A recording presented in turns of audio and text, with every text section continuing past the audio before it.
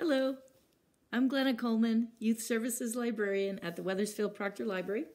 And this is our library bear, Bear, who is here with me again to read the books for our story time. This session's theme is about wind. So I don't know about where you are, but last night at my house it snowed quite a bit, eight inches. Um, but I'm hoping that the spring wind will come soon, and maybe if we read enough stories about wind, that will happen. Our first story is called Kite Day, a bear and mole story. This book is written by Will Hillenbrand.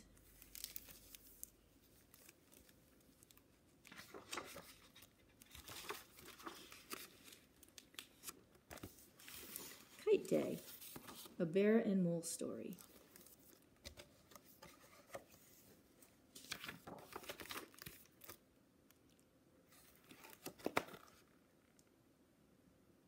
Does look as though it's going to be a windy day in this story.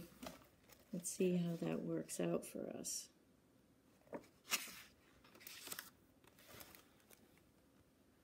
We'll see Bear looking up. Yes, Bear. This is a story about a bear, too. I'm sure you'll enjoy it. Bear looked at the sky. Could it be? He wondered.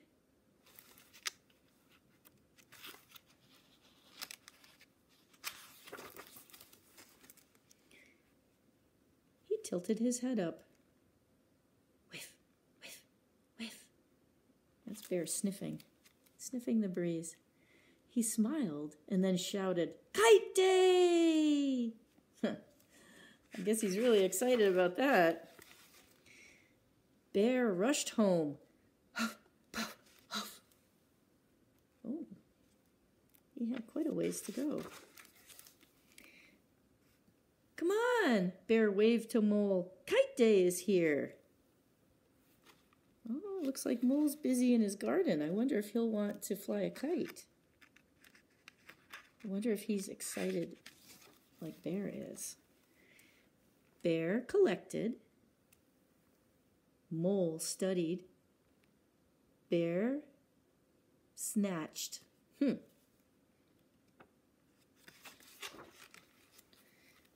Bear measured and cut.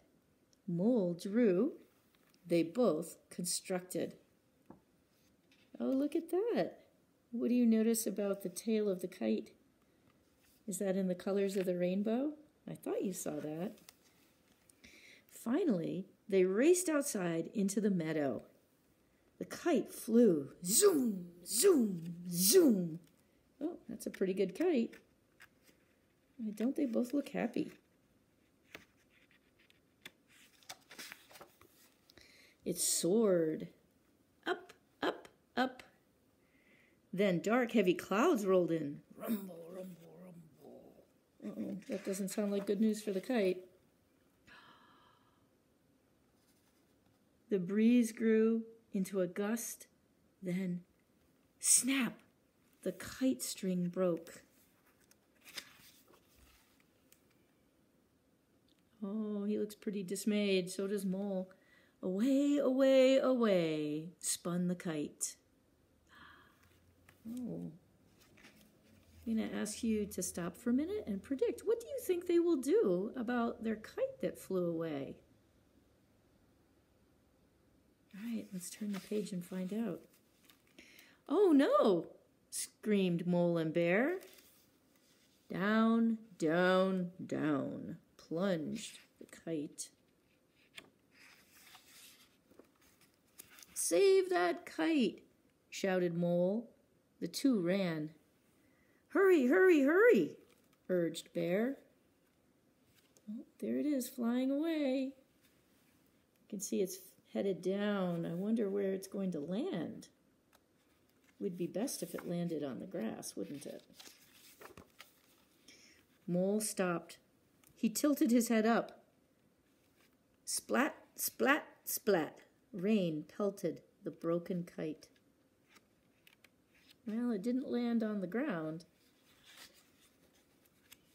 Look, cried Bear. Oh, sighed Mole. Chirp, chirp, chirp, squeaked the chicks. Oh, look at that. And this yellow color is the kite. Thank you, sang the mother bird. well, I guess that kite is still in use even though it's broken. It's sheltering the birds from all of that rain. This book was Kite Day, a bear and mole story by Will Hillenbrand. I hope you enjoyed that. You know, you can't fly a kite without wind. So, are you ready for the next story, Bear? Okay. Our next story about wind is called Wind Flyers. This is by Angela Johnson and it's illustrated by Lauren Long. You notice the sticker down here? This is a Red Clover book. That's an award that is given um, in the state of Vermont for picture books.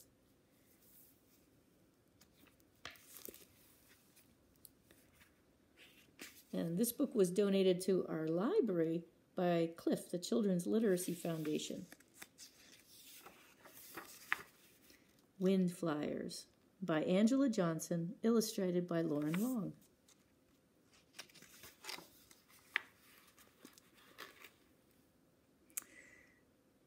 Great great uncle was a wind flyer, a smooth wind flyer, a Tuskegee wind flyer.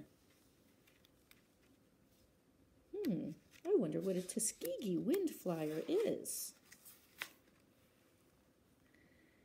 His whole life, all he ever wanted to do was fly. With his arms flapping, he jumped off a chicken coop when he was five.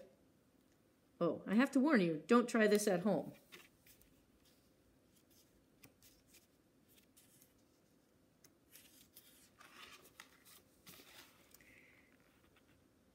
Then jumped off a barn into soft hay when he was seven. Uncle says it's 'cause he'd watched some birds fly that day. Oh, well, we have to be careful because birds can fly, but people can't.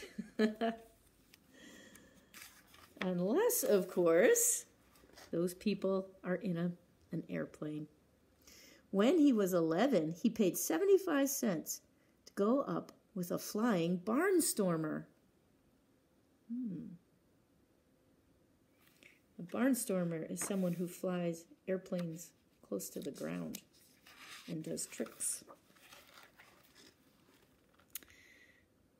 It's what heaven must be, Uncle says to me with clouds like soft blankets saying, Come on in, get warm, stay a while. And be a wind flyer, too. They flew over the fields, over the lakes, and Uncle just knew if he could get a good grip, those clouds would be his.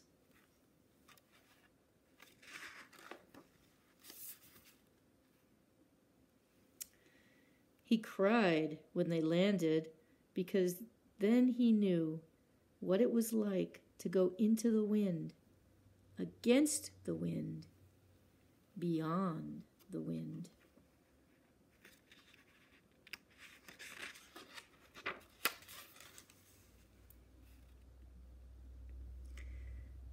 There was magic in the wind back then, he says.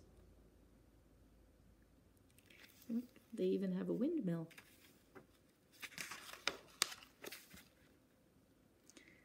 When he was older, Uncle became a Tuskegee Airman. With the 332nd, he studied hard and flew in a war. Air Force didn't want us at first, only four squadrons like us, he says, touching his mahogany face.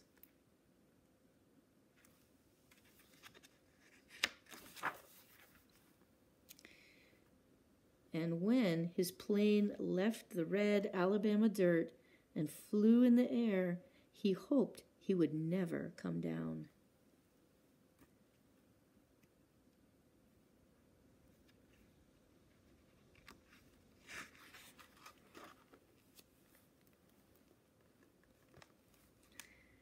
He had finally become a wind flyer, a smooth wind flyer, a Tuskegee wind flyer, flying high above it all, never to touch the earth again, forever a wind flyer.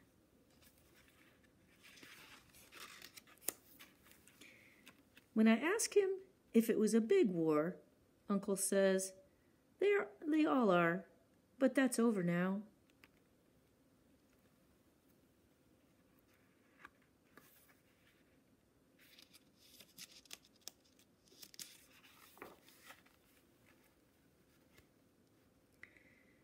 We were something. Some of us didn't come back, but we never lost a plane we protected. Then Uncle points at the picture of him and the wind flyers, those smooth wind flyers, those Tuskegee wind flyers, young and brave, brave and young, all.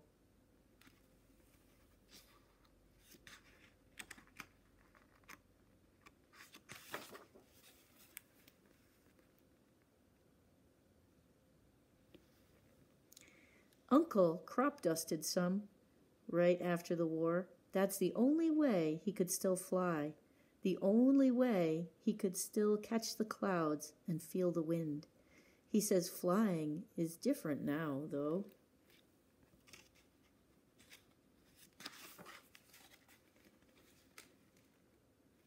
Oh, look up here and think about what you see that's different. Faster planes, more people than ever, but Uncle says the clouds still sound the same. He holds my hand, and we watch new wind flyers jet through the clouds.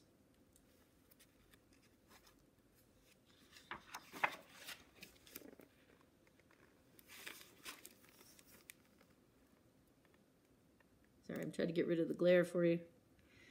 Then, once in a while, he takes me up and we become the smooth wind flyers, Tuskegee wind flyers, flying into the wind, against the wind, and beyond the wind, the magical wind. Doesn't that look like fun? That's the end. This book was Wind Flyers, written by Angela Johnson and illustrated by Lauren Long. So, the first book, the wind was used to fly a kite. In the second book, the wind was used by airplanes. So, our third book is Wind Says Goodnight. This book is by Katy Rydell and it's illustrated by David Jorgensen. Let's think about the cover for a minute. What does a frog have to do with the wind saying good night? You think about that while we read. Wind Says Good Night by Katy Rydell.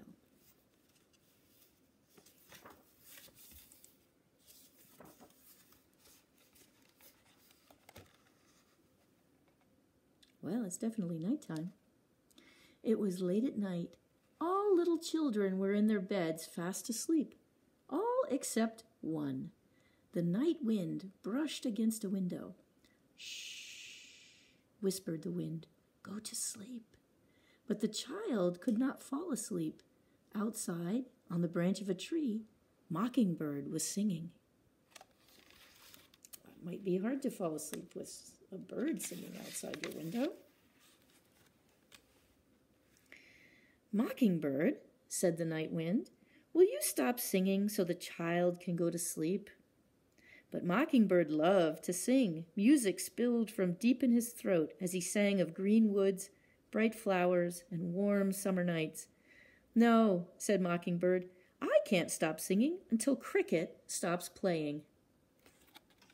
Hmm. From the tall grass by the back steps came the cheerful ring of Cricket's tune. Cricket, said the night wind, will you stop playing so Mockingbird will stop singing so the child can go to sleep? But Cricket didn't want to stop playing. His toes were tapping, his coat tails flapping, as the melody flowed from his fiddle strings. No, said Cricket, I can't stop playing until Frog stops strumming. Oh. Is that the frog we saw on the front cover? Maybe it is. Frog, said the night wind, will you stop strumming so Cricket will stop playing, so Mockingbird will stop singing, so the child can go to sleep? But Frog was deep in the swing, lost in the beat, with a night full of rhythm in his hands and feet. No, said Frog, I can't stop strumming until Moth stops dancing.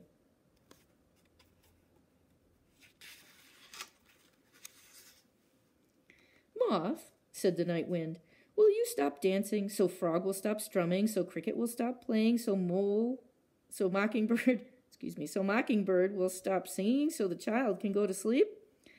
But Moth loved to dip and twirl on widespread wings by moonlight. Impossible, said Moth. The night is too, too beautiful. I can't stop dancing until moon stops shining. Hmm. Moon, said the night wind, will you stop shining? So moth will stop dancing, so frog will stop strumming, so cricket will stop playing, so mockingbird will stop singing, so the child can go to sleep? But moon's glow was so strong it turned the green meadow grass to silver. Hard to do, said Moon, hard to do. I can't stop shining unless there's a change in the weather.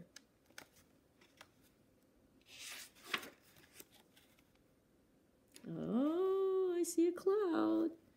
Far to the west hovered a small dark shadow. Cloud, called the night wind, will you cover the earth so moon will stop shining, so moth will stop dancing, so frog will stop strumming, so cricket will stop playing, so mockingbird will stop singing, so the child can go to sleep? Only if you will carry me, said Cloud.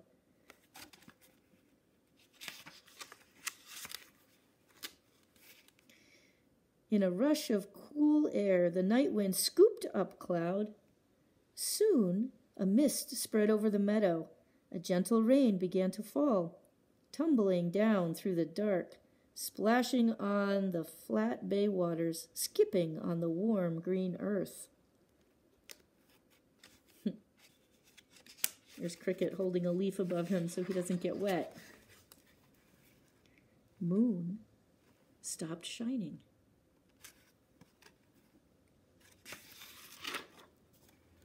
Moth stopped dancing.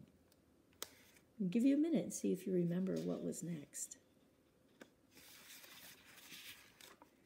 Frog stopped strumming. Do you remember what came before Frog? Cricket stopped playing.